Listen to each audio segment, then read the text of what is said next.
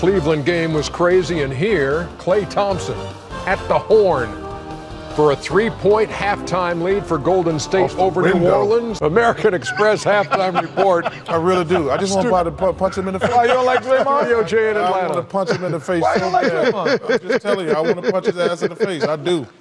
Why? Why? Relax, what makes you upset? You asked me a question. I gave you. I, I, asking, I, I didn't ask you, do you to punch him? You it. said you, and I said, why? Get it. When Chuck get like that, just leave him alone. No, I like the. Okay, all right. Man. Nice Play- fade, that's Ernie. playoff intensity.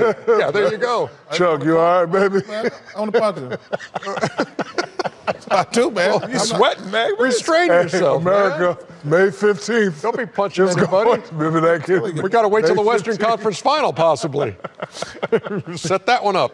Uh, American Express teammate. Man, Oh, I ain't messing with you today, Chuck. Got four Golden State Warriors on this sheet. What are your picks, man, from a, from a wild first half? Well, it's a Steph Curry effect. So it's really, you know, having Steph Curry in, you know, they're playing a lot better. I see you, Ernie. Uh, they're playing a lot better, the Pelicans, but the effect that he has is the fact that the guy can just come down and, as I freeze it here, he's in shooting range. Because most guys' shooting range is not out here.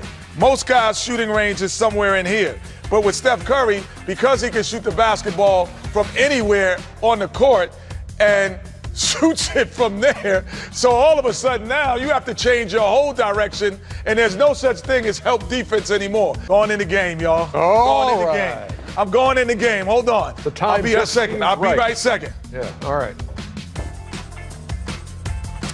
Oh, I love Oracle. It's so loud in here. It's so great.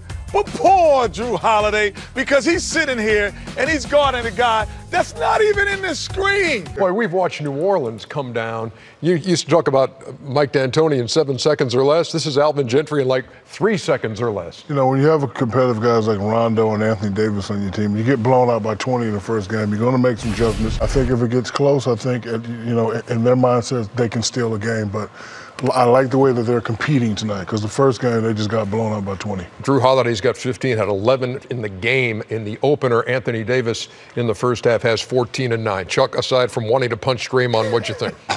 It's a tough call when you play uh, these Warriors, man, because they're the best at going up and down the court. They have, as Clark Kellogg says, great spurt ability. Yeah, New Orleans can play like that, but the Warriors are the best at it. The only other team comparable to them is the Rockets. That's why when the Rockets play the Warriors, it's going to be a crazy, crazy game because you're going to have to score 110 to 15 points, or you're not got. You don't have a chance. You don't have a chance against the Warriors or the Rockets. I mean, you have to score close to 120. I mean, I, I mean that's just how really good offensively. They're good defensively, but you got to score a minimum of 110 to beat them. New Orleans, the second highest scoring team in these playoffs at 112 a game.